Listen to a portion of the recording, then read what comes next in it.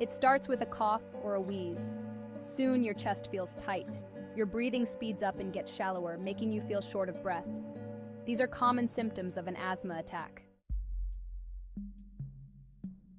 Around the world, more than 300 million people suffer from asthma, and around 250,000 people die from it each year. But why do people get asthma, and how can this disease be deadly? When people with asthma are exposed to these triggers, an asthma attack, or exacerbation, can occur. But how exactly do such everyday factors lead to an asthma attack? If an asthmatic is exposed to a trigger, the smooth rings of muscle that circle the small airways in their lungs contract and become narrow. Simultaneously, the trigger worsens inflammation, causing the mucosal lining to become more swollen and secrete more mucus.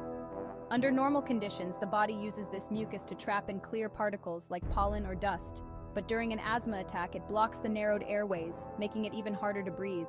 These effects lead to the symptoms of asthma. These effects lead to the symptoms of asthma. Smooth muscle constriction results in the feeling of chest tightness. Excess mucus and increased inflammation can cause coughing. And the wheezing noise?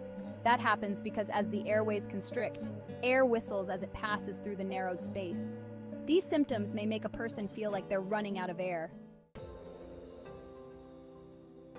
So, how do we prevent these uncomfortable and potentially fatal attacks in people who have asthma? One way is to reduce the presence of triggers. Unfortunately, the world is an unpredictable place, and exposure to triggers can't always be controlled. This is where inhalers, the primary treatment for asthma, come in. These medications help asthmatics both control and prevent their asthma symptoms. Inhalers transport medication along the affected airways using a liquid mist or fine powder to treat the problem at its source. They come in two forms. There are reliever medications, which treat symptoms immediately and contain beta agonists.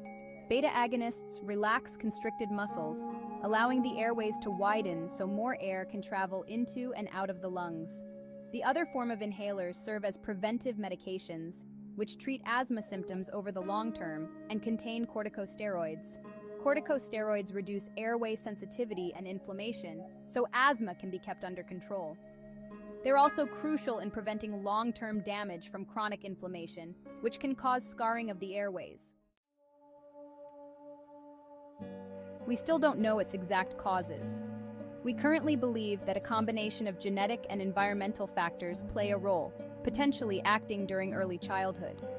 Recent research has even linked poverty to asthma incidence, this may be due to reasons ranging from exposure to additional pollutants and environmental irritants to difficulties in obtaining medical care or treatment.